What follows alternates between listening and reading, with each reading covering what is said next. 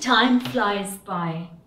We have reached day four, and I have to say goodbye today. So, I want to ask before that what the aim of the curators was with this festival.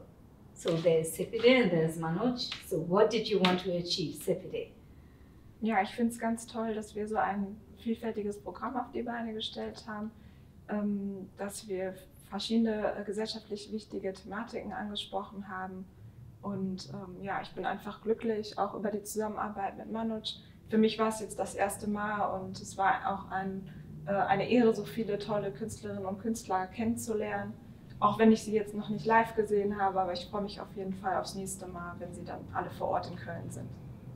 Super. Thank you very much, Sepide. Manoj, are you satisfied? A Yeah. very, very dangerous question. No, I mean, I'm very satisfied also with the collaboration, with all the support uh, we got this year, and um, yeah, it was something really special.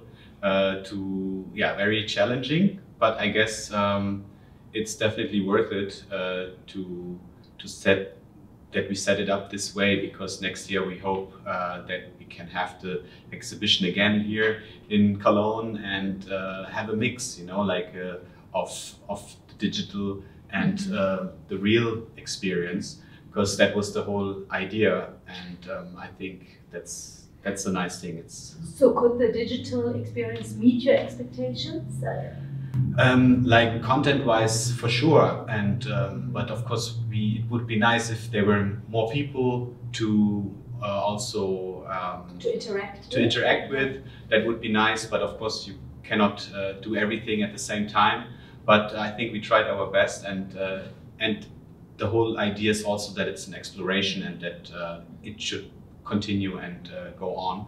And, And so, multiply, yeah, exactly. So Yeah. I, I hope it will just, yeah, it's just the beginning, basically. So, one last question What is the highlight of this day? What, what, what are you gaining for today?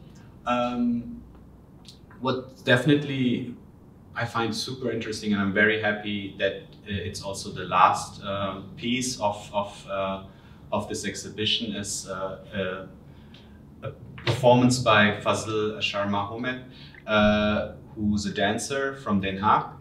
And um, we know each other for a very long time, um, but we just met uh, each other recently, and he's into decolonizing rituals uh, which I also didn't know about. And even the whole history, the colonial history uh, about the Surinamese, uh, uh, yeah, Indo-Caribbean, so to say, um, in Holland uh, is a very interesting story. And um, I think I'm very happy about this this piece because it shows there are so many different uh, Indian identities that also people don't know about. Uh, let it be the migration story here in Germany, the different migration stories, but also this specific story, which is more or less unknown. It's it's a story about slavery, and um, and I think in today's time, is I, I think it's very important to to have uh, to get to know about this story, uh, especially in an artistic way.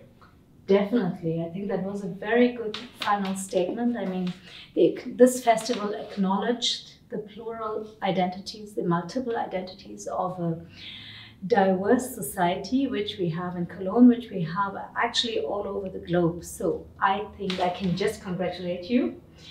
And I hope, dear audience, that you had a wonderful time.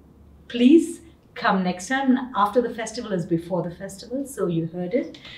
It will take place again, hopefully in Rio. And you just stay healthy, safe, and take care. Thanks for participating.